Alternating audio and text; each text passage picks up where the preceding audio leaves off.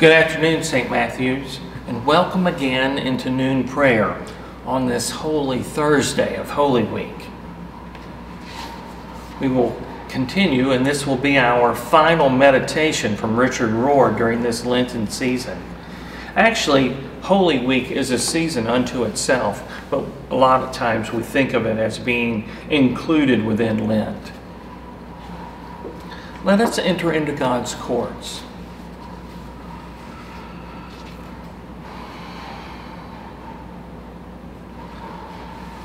Our first reading is from Exodus. This is how you are to eat it with your loins girt, sandals on your feet, and staff in hand. You shall eat like those who are going somewhere. This is the Passover of the Lord.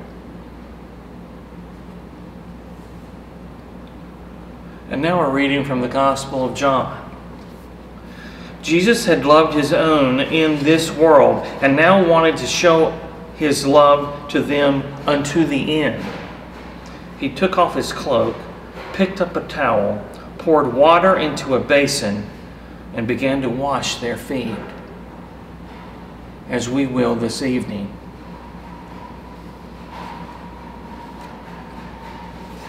Today's meditation is entitled Every Group Needs Its Ritual, or The Message is Lost and the Group is Lost. As you would expect, we have three momentous readings for the day, and they are all in ritual settings. The older religions all understood the importance and power of group rituals. Without them, there is no memory, no recreation of the founding myth for each new generation, no group cohesiveness, and no transformation of persons at the deeper levels of consciousness and unconsciousness.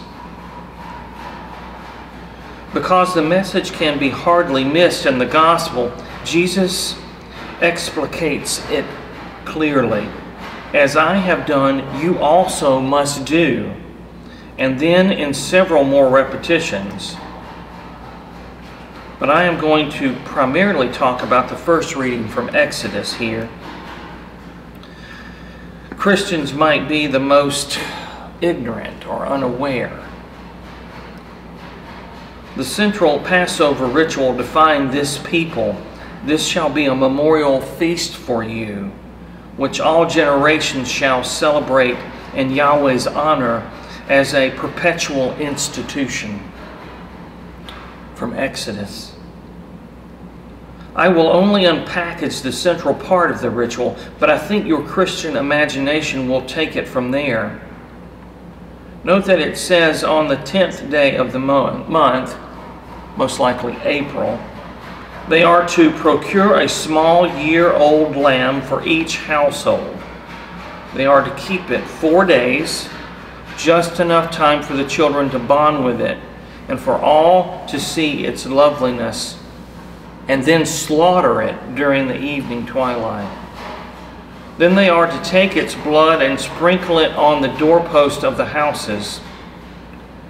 That night they are to eat it highly ritualized, eat it in highly ritualized fashion, recalling their departure from Egypt in Exodus and their protection by God along the way. Thank God the Jews eventually stopped animal sacrifice, but it was meant to be a psychic shock for all, as killing always is. You can see, however, that the human psyche is slowly evolving in history to identify the real problem and what it is that actually has to die. A cultural anthropologist could explain what is happening here. The sacrificial instinct is the deep recognition that something always has to die for something bigger to be born. We started with human sacrifice, Abraham and Isaac, you may remember that. We moved here to animal, and we gradually get closer to what really has to be sacrificed our own beloved ego as protected and beloved as a little household lamb. we will all find endless disguises and excuses to avoid letting go of what really needs to die for our own spiritual growth. And it is not other humans, firstborn sons of Egyptians, animals, lambs or goats, or even meat on Friday that God wants or needs. It is always our beloved passing self that has to be let go of Jesus surely had a dozen good reasons why he should not have to die so young, so unsuccessful at that point. And the Son of God, besides. By becoming the symbolic Passover lamb himself, plus the foot washing servant in tonight's gospel, Jesus makes the movement to the human and the personal very clear and quite concrete. It is always we and our youth, and our beauty, and our power, and overprotectedness that must be handed over. Otherwise, we will never grow up big enough to eat of the mystery of God and love. It really is about passing over to the next level of faith and life. And that ne- never happens without some kind of dying at precious levels.